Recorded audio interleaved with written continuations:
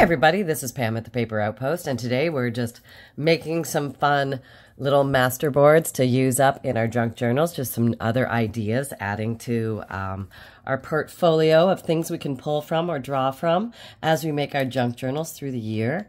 And if you haven't tried playing with watercolor, I I certainly encourage you to do so. And don't worry about the fact if you're not an artist or not. You don't have to be. These are really simple techniques anybody can do. And I'm going to show you some options today uh, from using some fun stuff you just might have around the house. So, for example, they, these are coffee um, splotches. And I think they came out really cool on the watercolor paper. And if you want to see what kind of watercolor paper this is, it's just a watercolor book I bought at Hobby Lobby. This is the book. There's the measurements. Okay, so, but you can get these in book form or loose or whatever. Um, but, uh, okay, so here's the ticket. Um, the round drops, these were dropped at a very low distance, short distance from the paper. Um, I think I dropped them from a Q-tip, if I recall. Uh, and the, these, all I did was hold the Q-tip up much higher. You can also do this with a paintbrush um, and just make the drop much higher and you'll get more of a splash effect. Now, you can use this for a background paper. Um, you can cut this piece up and use it for pockets and tucks and belly bands and all sorts of fun things in your junk journal. Um, or you can turn it into art and then into a masterboard um, that you will then maybe keep whole or cut up at your will, always at your will. And today, um, I brought some of these along. Maybe, um, maybe not everybody has. Okay, so if you don't, if you do have a brush or you don't know what brush to get, a good place to start is a round brush. It has a big belly and a small tip, so it gives you a lot of um, options with one, one brush. You can do fine detail work plus also big blob work. That's a technical term. And, um, but then you might have, remember these old guys? I mean, from a, like, this is what, you know, I grew up with. These were makeup sponges. Um, they used to come in a pack, and we can see how we can use these as well. And then today, makeup sponges come in all sorts of different shapes and sizes and colors. Um, so there you go. Today I'm using J Jane Davenport. Um, this you don't have to use expensive, inexpensive, middle of the road watercolor for this. It can be anything. It can be the El Cheapo stuff that's seven or eight bucks at the at Hobby Lobby. It gives you a whole, not this one, but the um, the other ones will give you like a whole palette of multiple colors. You can have fun with the cheap stuff. Just just saying. All right, I do. I'm to back up a little bit so you can see what's going on in my clean desk. Um, I have a glass of water. Um, you want to use glasses that you don't drink out of because you don't want to be compelled to accidentally drink your paint water. That's not a good thing. And if you're going to use coffee, make sure that once you're done painting with your coffee, you get rid of that cup because sometimes we go back and, you know, we're not thinking and gulp. Okay, so, um, I, you know, I thought, well, what can I do with these? Um, let's let's maybe wet our paint a little bit. I thought maybe these kind of look like those flowers. You know, we did our own drip design the other day where we made this. But this time, we're using coffee and we're getting more... Um, see these flowers? The paper was wet and the flowers dispersed, the, the paint dispersed a little bit more. Here, the paper was dry and that's what the splashes look like. So just kind of that idea. Okay. So um, I'm thinking, okay, well, what if we consider these flowers? Again, that's kind of a cool idea.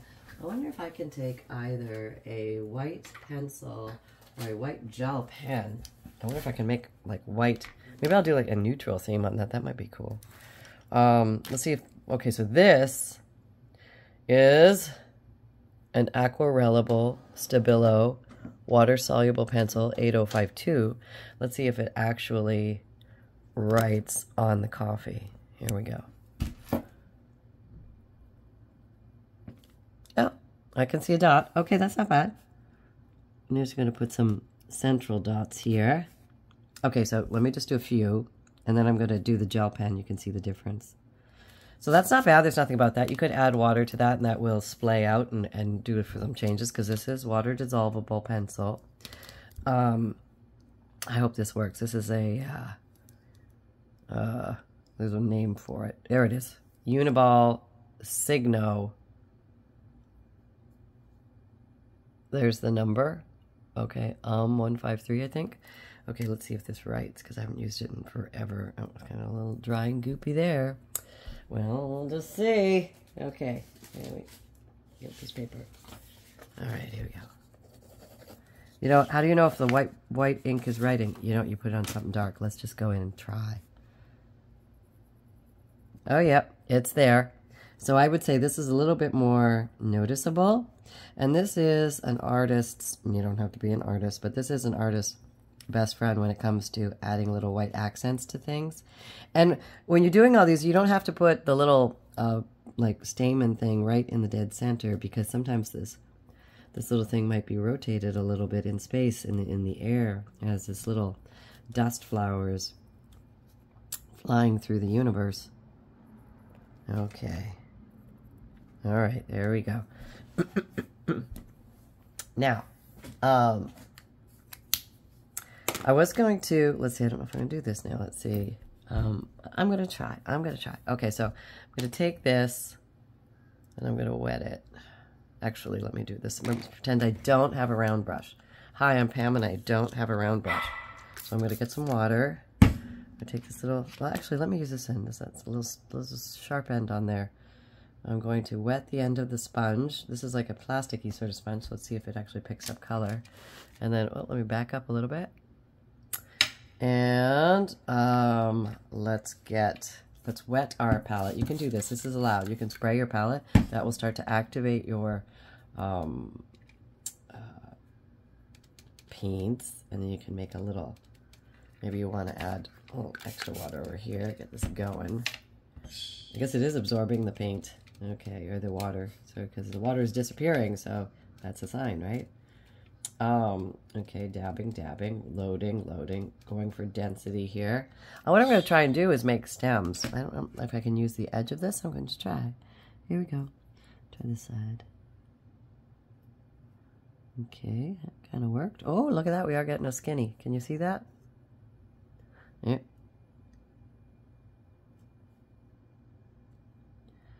So just, you know, you can use other things around the house if you don't happen to have a paintbrush. So this is a Q-tip and a makeup sponge for options.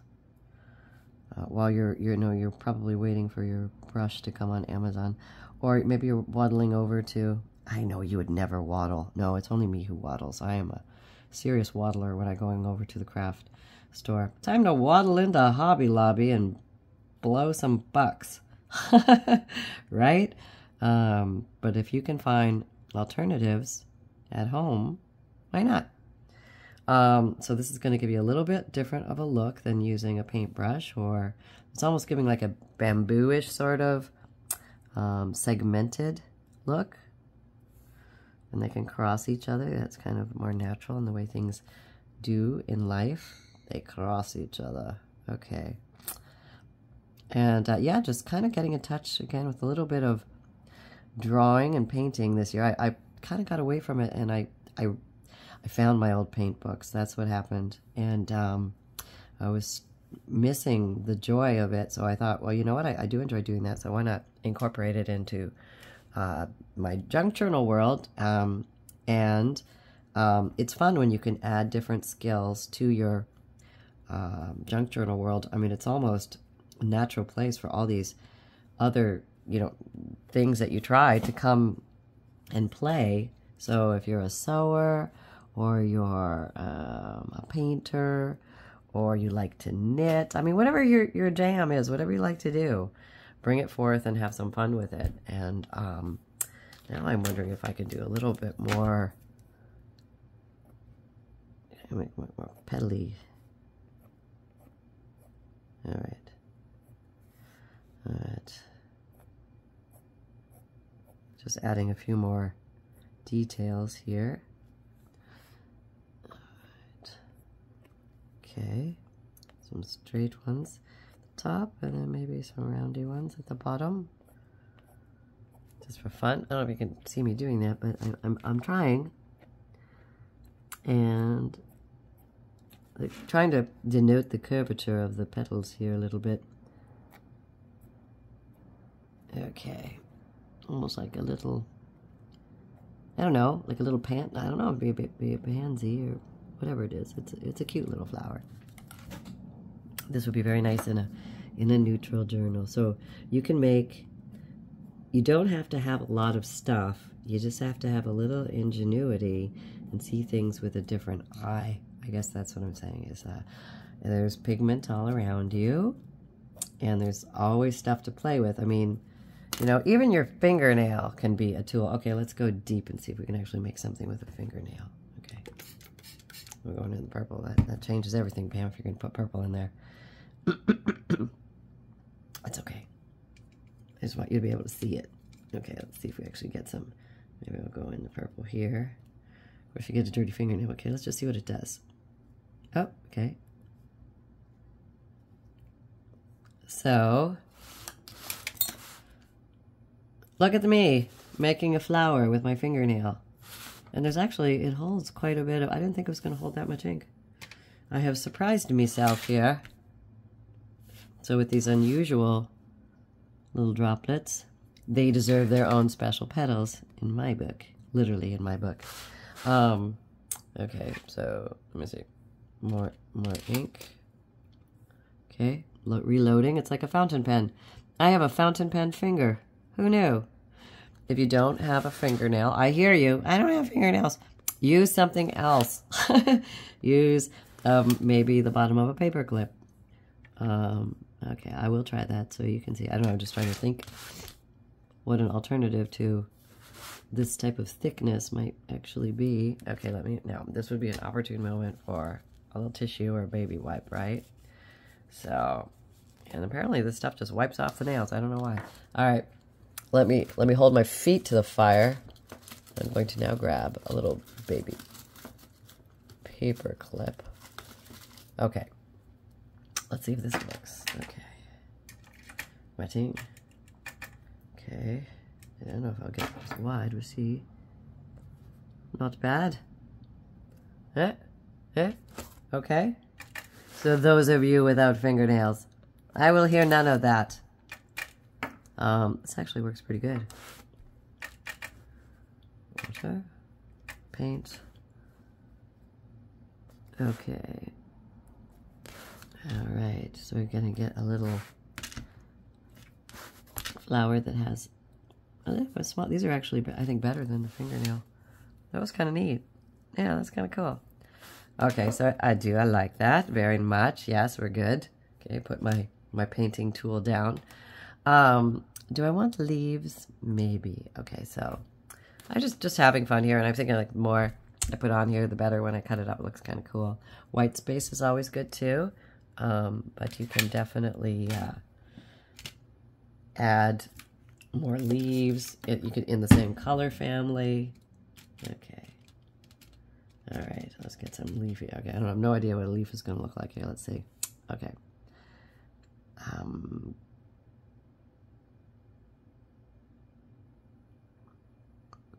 Oh, that looks kind of good, actually. So I'm using this corner tip. Just the corner tip. And we get some more paint. Huh? Those are actually not bad for little leafy-like things. Okay. I think we will call this a leaf success. Okay. Okay. Oh, here. Yep, that's good. So maybe the wind is all blowing this way. That's why they're all going in the same direction. Oops. Now push harder, you get a fatter leaf. Just saying. Maybe you want fatter leaves. Maybe we should do some fatter leaf examples. Let's see if that was that was just an accident. Let's see if I can repeat it. Okay. Oh, look at that. That's one down and push. Let's try that again. Just down and push. Down and push. Boy, you can't get any easier than that. So if you want to just do random leaf shapes, maybe daubing isn't even necessary. Maybe we'll put some on the other side. Okay. Okay. Uh, leaf, oh, down, push, and drag a little bit. Down, push, and drag a little bit. Down, push, and drag a little bit. Getting different shapes. Depending on which end you get on your... Do you get it flat? Do you get the pinpoint end? Try the pinpoint end. Down, drag. Down, drag. Anyway, lots of fun with that. Um, so don't worry about being an artist. Don't worry about being neat. Uh, just kind of feel your way through this. Um, I feel like, what, what was I, what did I, oh, I used the, now what if I use the tip of a paper clip? So I really, I just want a little, I just want a little, oh, yeah, I just get, oh, look at that. Little pinpoint dots. Oh, is that a cutie cute cute? Can you see her too far away? Well, that's a little close and personal. Okay, how about there? That's good. Um, so if you want to just do a little bit of dotting, don't, don't, oh, it, got, got, it has to be wet, pen. Okay, because remember, it's only a tip of a paper clip. I mean, how much can we ask of this? Because we're scrapping in our house. We're looking around in our homes to see what we can use if we don't have all this stuff. Never let lack of a craft supply stop you, right? Yeah, we're always going to look for alternatives because we get excited about an idea. We want to do something about it right now. Am I in the picture? Yep. So I want you to grab onto that movement, that energy. And when you're excited, and just grab some paper. It all starts with grabbing some paper. And um, just tell everybody you need five minutes in the craft room and you'll be so much happier. It will be worth it to all of them to keep you happy. Um, it'll make a difference in their day. Um, okay, that's kind of cool. Now you could totally um, do splattering effect and stuff like that um, which I think is always like a nice thing. Um, but you can do other things to fill in white space if you want to fill in white space. We're not going to fill in white space with a white marker, that's for sure. But um, let's see what else we have here. Okay, well, here's like a weird one. Probably nobody has that. Um, got probably a lot of people might have these hanging around the house. Let's see. Okay, see, whenever you have these little point ends, they're little point things you can do things with. So, well, let's let's stick it in some let's stick it in some color and see what happens. I'm gonna I'm gonna wet this end. Okay. I'm gonna go in maybe the purple. I had that. I don't know what that's gonna do. Let's just see. Um, I'm gonna maybe accentuate some of the sides of the stems in this strange hueish purple color. Maybe this plant is somehow related to heather. No, probably not, but in my mind it might be. Um, and almost make it like a dark shadow. Not on everyone and not everywhere. Maybe just some places here and there for a little, little accent of something. Um, you know, you work with what you have and it's only paper. Remember, if you mess it up, it's okay. You can always grab another piece, but just play with it for a while, especially if you mess it up because you got nothing to lose at that point. Nothing to tell you, nothing. Um, Okay, so maybe these two flowers, they need some distinction between them. Okay, there. Okay. Yeah, okay. Anybody else is crowding together? We have a crowd here. All right. Don't know what that was, just sort of went for it. Um, but you never know until you try these things. So, yeah, okay, very nice, very nice. Bringing a little more color. So apparently we've gone from coffee color to coffee color and green, and now we have pulled in a little bit of purple. Three colors are always a solid place to start from if you like to play with color. You can totally do this all neutral. Apparently I left that, that train has left the building. Um, but that's okay. And it's okay to do primarily neutral with a little splash of color every once in a while. Um, okay, so let's maybe... This one is actually pretty dry already. Hold on a sec. Okay, I don't know why I'm pulling this out, but I am. I'm grabbing the Stickles in Stardust, if I can get it to work. It's basically glitter glue, And I'm going to try and goof around with it. I'm going to squirt it in my hand. If it will come out to play. Hang on. Trying to get it down here. I probably use this one a lot. I hear something. I don't know if it's uh, empty or clogged. You know what we have to do? We have to get the old needle, the pin. Uh, well, that was kind of short one. Could I could I could I have picked a shorter needle pin in the entire needle basket? All right, let's see if we can get this to flow a little more. This one might be coming to its bitter end. Feels kind of empty. Oops, sorry, excuse me. I think it's empty. Yeah, I don't think there's anything in there. All right, we're just going to grab another color. All right, back over to the stickles drawer. What's this? Crystal. Okay, this has a little bit more green shimmer in it. This one feels fuller. Let's see how this one goes. Okay, now we impress ourselves here with a little dollop. Okay, you're stuck too. Okay, it's just one of those days. Getting stuck with the stickles. My stickles are old, so sometimes they clog.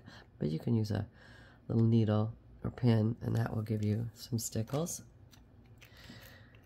So I thought maybe what I do, might do is um, maybe make, oh, here, let me actually do this. Sorry, excuse me, excuse me, sorry. There we go, better, better focus. Um, I was to use my finger. Since like we're, we're apparently playing with no, we don't have any tools. We just, we're just sitting there by ourselves with a bottle of stickles and nothing else. So I'm just going to make these glittery flowers. That's easy enough. Anybody can do that. Okay. And you can just keep going with this stuff. Okay, the flowers are all stickly. And, and see, by this smush pat technique, this is the official smush pat technique with stickling. Um, it doesn't take as long to dry. So there's a little side benefit to that. All right, come on now, baby. I know you got a clog and you just want me to get back in there and clear it. Okay, oh yeah, I can feel it. Okay, let's see how we did. Okay, hang on. And with the great brute strength. Okay.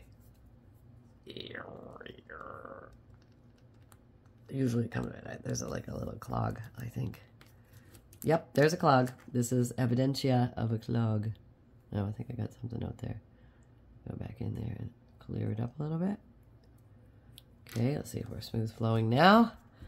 I have now managed to stickle myself and not much else. Okay. A little before the clog came back down. All right, well, I think I have enough. Let's put the lid on here. Okay, let's keep stickling. All right, get the stickles on there before it dries, Pam. See, now I'm I'm worried the stickles will dry too quickly. That's funny. It's usually the other way around. Um, okay, so we have everybody all pretty. And I don't think there's anything wrong with, like, if you just want to do random, you know, I, I can't get anything off here now. It's just a little bit of color in the air. But I do feel like I want a little more background color. For some reason, I stopped over here. I don't know why. Um, so when this happens, we have to come to terms with finding some weird little supply that maybe everyone will have. Let's see. Well, we could do the Q-tip again. Okay, let's grab the Q-tip. And, um,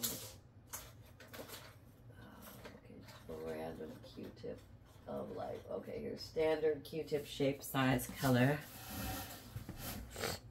Okay, there we go. All right, so I think what I'm going to do, I'm just going to go for broke here. I'm going to put this, I'm going to, this is my water cup. This is my very wet Q-tip. Let me back up so you can see a little bit better. I'm going to play in the purple. Okay, yep. That's what I'm going to do. It's going to be very wet. We're going to try for the...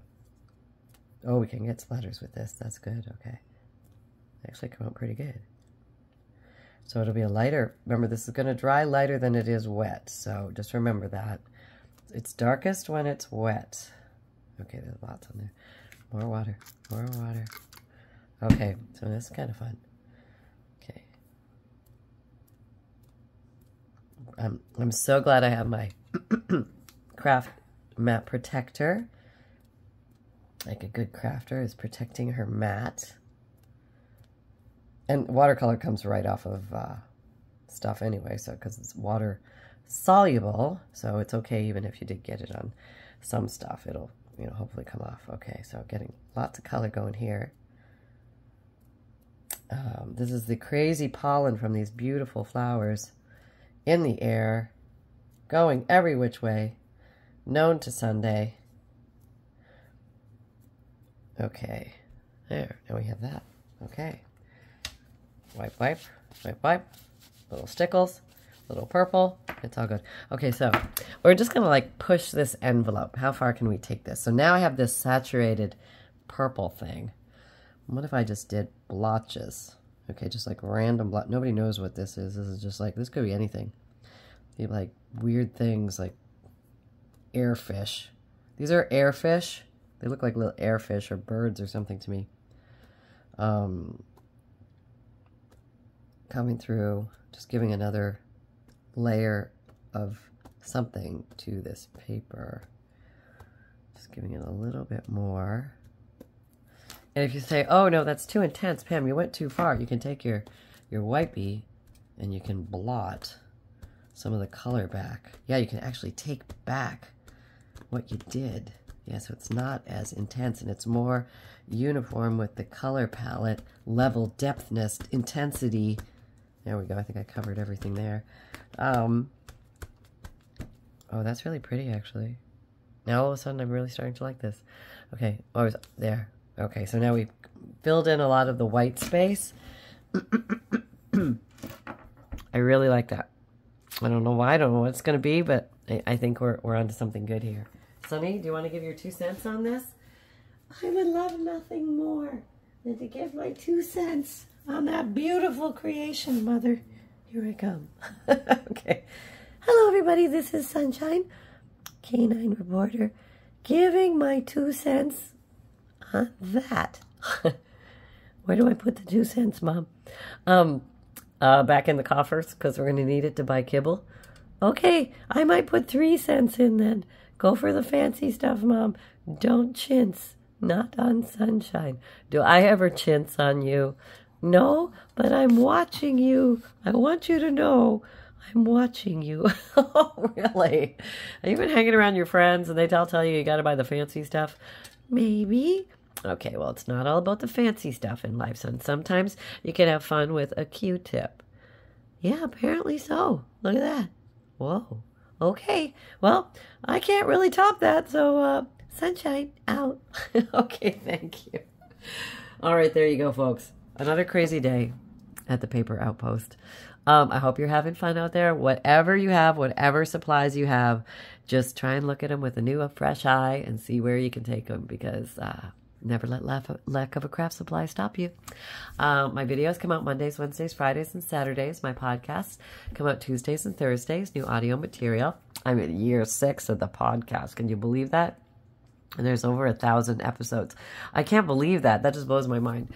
Uh, um, my uh, you can watch video podcasts on Spotify anytime you like, and um, um, I know that's weird. It's like why would anybody listen to a podcast?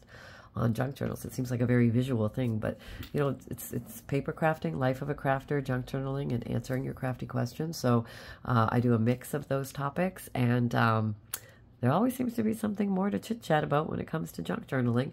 And sometimes you're driving, or you're doing the laundry, or your hands are occupied, or you're not in front of a screen. I know, rare these days, but sometimes you're not in front of a screen, um, and you just want to have some fun. So I hope this answers that for you. And uh, I have an Etsy shop where I sell fundles, which are collections of old and interesting papers, such as antique ledger, checks, receipts, postcards, uh, black and white photos, tea cards, music paper, dictionary pages, and a whole plethora of very interesting book pages, plus um, a lot of other things in there, 100 plus pieces, and free priority mail shipping is included. Um, I also sell DigiKits, which are printable, downloadable images that you can purchase. And um, here's an example. Um, you get a bunch of images, and there's five pages of images in each kit. They're themed. So if you like flowers or butterflies or dragonflies or Victorian styles, there's all sorts of different ones to pick from. Um, and you can print them out at home. Now, if you don't like to print or don't have a printer, just let me know and I will print them out for you. Um, there is, um, I have a print and mail option. Just buy that. That's all you buy. And then send me your list of the DigiKits names that you want that are from my shop. Um, if you go to www.thepaperoutpost.com, um, you will only see my digikits. And uh, just send me the names. I only need the first two or three words. You can send the list to uh, through Etsy message or Etsy contact, or you can send it um, via email to pam at thepaperoutpost.com. Okay, so um, you can find me on Instagram, Pinterest, Twitter, LinkedIn, Facebook, and Facebook group. And remember, most of all, that fun can be simple. So create with reckless abandon, everybody. Go have some fun. Take care. Bye.